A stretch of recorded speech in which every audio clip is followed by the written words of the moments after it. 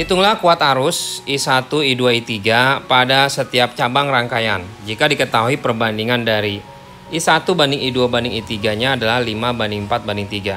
Nah, di sini berarti kita bisa tulis gini ya. Ini kan ada I1 ya. Perbandingannya adalah 5. Jadi kita anggap aja ini 5X dah. Oke.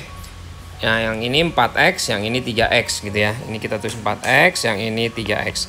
Nah, menurut hukum Kirchhoff 1 itu bunyinya bahwa arus yang masuk itu sama dengan arus yang keluar.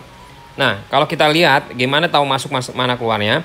Kita lihat di sini nih ada titik ya, di mana titik percabangan ini.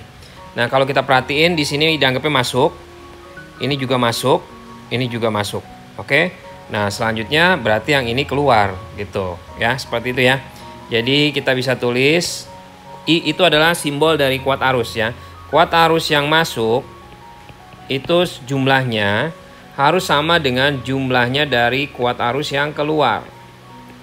Oke. Nah, yang masuknya berarti gimana nih? Kita tulis saja 5x ditambah 4x ditambah dengan 3x sama dengan 20 ampere ya. Nah, jadi kita hitung 5 tambah 4 9 tambah 3 12x sama dengan 20 ampere. Jadi nilai x-nya 20 dibagi 12 bagi berapa nih? Bagi 4 aja ya. Bagi 4, 20 bagi 4 dapat 5 ya. 12 eh, dibagi 4 dapat 3. Jadi 5 per 3 ampere. Nah, setelah kita dapatkan X-nya, berarti nilai dari I1 yaitu tadi berapa nilainya perbandingannya 5X kan ya. Jadi kita masukkan aja 5 dikali 5 per 3. Sama dengan 25 per 3 ampere.